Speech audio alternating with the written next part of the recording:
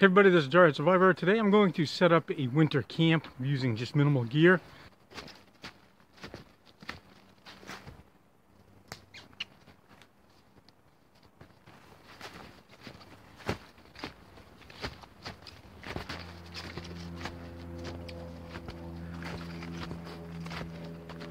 Okay, so the next thing is to find some support beams that I can actually build my lean-to on. I'm probably going to put the fire just about where I'm standing here so it'll reflect back into the lean-to. And uh, let's see what I can get for uh, coverings, for siding. So let's go do it. Since I don't have any cutting tools other than a uh, bush knife, everything has to be pretty much done by hand. So I'm going to go over there and see if I can't break uh, a few pieces loose and then we'll see if we can break them up to size so that they'll actually fit the shelter somewhat decently.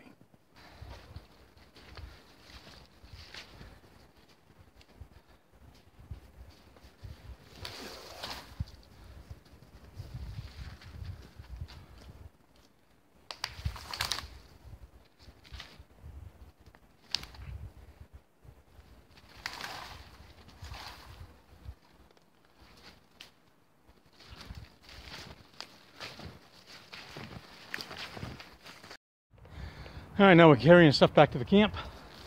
So luckily this has got a nice little carry handle.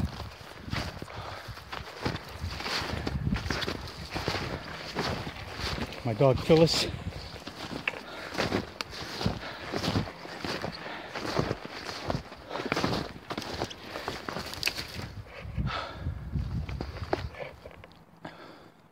So keep in mind that doing this without tools is much, much harder than it is if you have a saw or an axe, something like that. I have a survival knife, but it's not going to be any help cutting that stuff there. So I'm just working hard and trying to get materials I need to start shelter.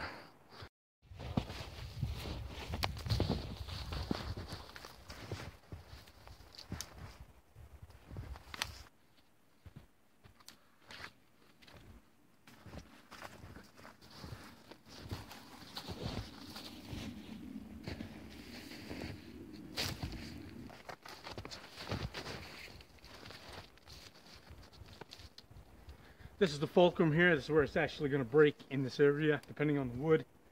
I'm just guessing at the right length.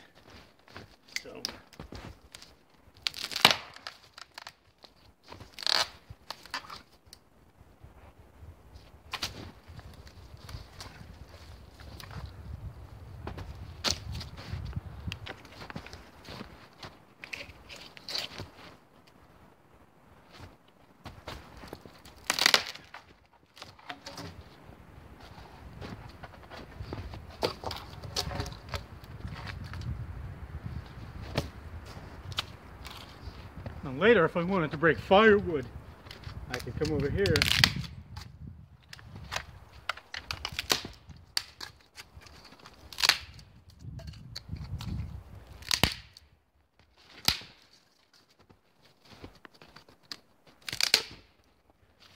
and break the sticks to whatever size I wanted.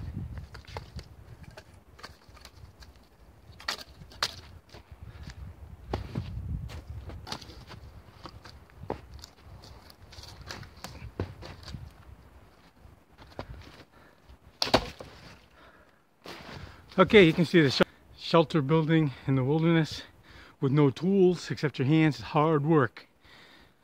So, can't be too choosy about your materials. You just got to go with what you got and uh, make it work. So, let's get our pieces here that I've got together. Yeah, so I'm gonna grab these, take them over to the camp, set those up, and then if I have enough I'm going to start uh, doing the uh, covering. So I'll grab some fir boughs and whatever else I can get my hands on in order to get that to happen. So let's get to work. Okay so I'm back camp. I'm going to take and uh, set a few of these up so that I've got a nice ridge along the top there. And then I'm going to start looking for brush to cover everything up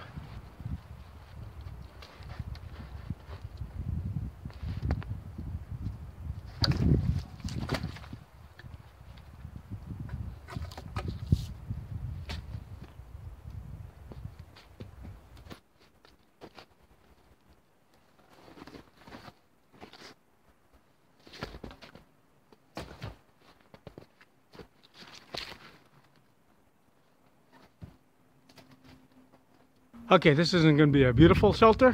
It's not meant to be. It's just meant to be serviceable. So the idea is uh, the west is this way. The wind from in wintertime here in Maine typically blows from the west when it gets really cold. So I'm going to put my fire pit right here and uh, cover this up so it'll block the wind coming in from the west. So that's the next step. So we've got the framework built. Like I said, it's not beautiful, but it is serviceable, and that's what counts. I'm going to use a technique called tipping to gather some uh, boughs. And basically what that is, is I'm just taking the top foot, two feet off uh, the end of some branches. So instead of harming the tree, all it does is it prunes it back a little bit, doesn't, doesn't cause it any harm.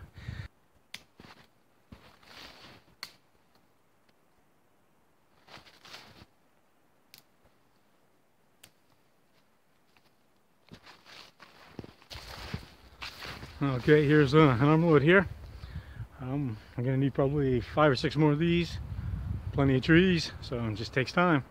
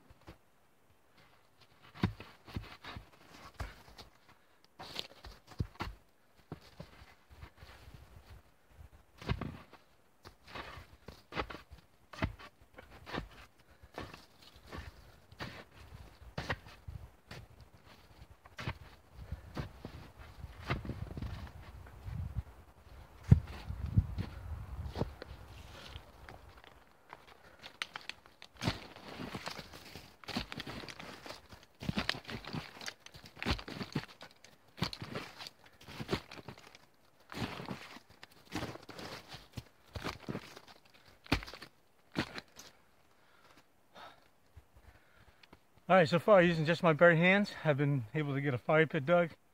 I've been able to uh, get a shelter built. So really the only thing I need right now is a lighter or a fire steel to get a fire going, which is what I'm gonna do next.